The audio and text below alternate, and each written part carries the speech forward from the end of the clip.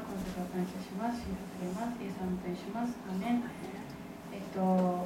イスラエルから、まあ、先週なんですけど 帰ってきまして皆様の問いなしになり本当にありがとうございます。えっと、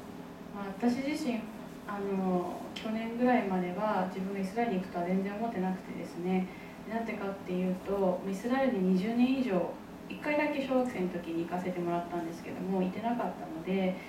こんなお金がかかる長期間だけにまさか自分が参加できるとはっていうちょっと不思議なところがありました。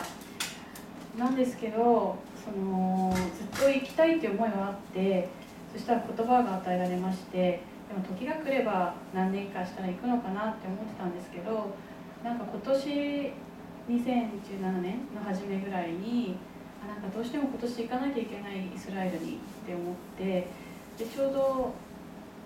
その仕事で働いて経済があってで必要な経費とかも一応払い終わったのでこれで行けるかもなって思ったらその11万円の飛行機代のツアーっていうかが出て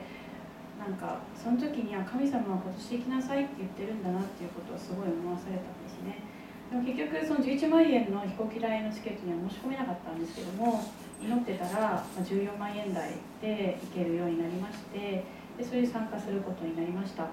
で今年あのチェロを持っていきたいという思いがありましてただ自分の願いなのか神様御心なのかっていうのがちょっと分からなかったので御心ならば弾けるようにっていうことを祈ってたんですけど日本から持っていくのは御心じゃないっていうことが分かってじゃあ現地で借りるっていう道しかもうなかったんですけど総額の奉仕に名前は入ってる楽器は持ってなかったんですね。だからもう最悪エアーでもいいかみたいな感じでイスラエルに行ったんですけど行ったその日の次2日目ぐらいに美香子さんがヘブライ語のサイトを調べて教えてくださってそしたらロンビーチホテルの車で30分ぐらいのところにレンタルのお店があるっていうことが分かってしかもレンタル代が5000円っていうことが分かってあのこれは祈りの答えだって思ってですね、えっと、申し込みました。それでガリラヤ湖でチェロを弾くことができてで奉仕することができてロシア系ユダヤ人の教会でもチェロで奉仕することができてで本当に今回も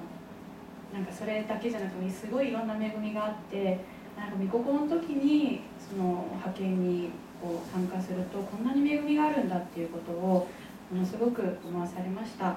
神様に感謝します。神様根性を感謝します。イエス様の名前といたします。ね